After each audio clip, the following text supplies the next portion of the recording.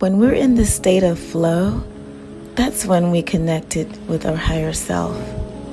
When you stop thinking or trying and just let go and allow whatever comes or inspires us to act to freely express our flow. Happiness is a temporary sensation.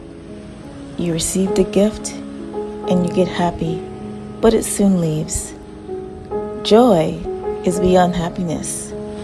It's when you're in that flow state and it becomes your default mode or mood.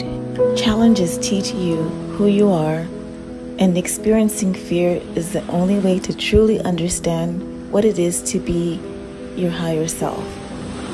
You only know what hot feels like because cold exists.